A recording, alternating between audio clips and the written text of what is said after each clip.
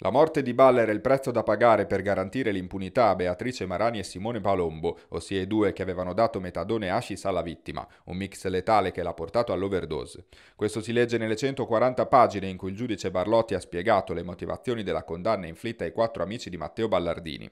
15 anni e 4 mesi per la Marani, 14 anni e 20 giorni a Leonardo Morara, 9 anni e 4 mesi a Simone Giovanni Palombo e a Job Kobabi. Secondo il giudice erano loro i quattro compagni che quella sera hanno prima condiviso la droga con Balla e poi quando ha iniziato a sentirsi male hanno continuato a girare in macchina con la vittima sdraiata sul sedile posteriore e poi l'hanno abbandonato in un parcheggio, trattandolo, si legge ancora nel testo, come un muto simulacro e non come un essere umano.